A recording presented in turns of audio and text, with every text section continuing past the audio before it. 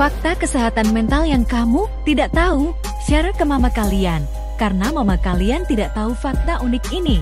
Request di komen, jika ingin ada fakta lain ya kita bahas. Seseorang dengan gangguan mental, mungkin tampak sehat secara fisik, tetapi mereka bisa mengalami penderitaan batin yang signifikan. Gangguan mental dapat memengaruhi anak-anak dan remaja juga. Dalam beberapa kasus, gangguan mental pada anak-anak mungkin tampak seperti perubahan perilaku atau emosi. Orang lanjut usia juga dapat mengalami gangguan mental seperti depresi atau demensia. Diagnosa dan perawatan dini sangat penting untuk menjaga kesehatan mental mereka. Tidak semua stres buruk. Stres positif seperti tantangan dan pencapaian dapat memberikan motivasi dan pertumbuhan pribadi.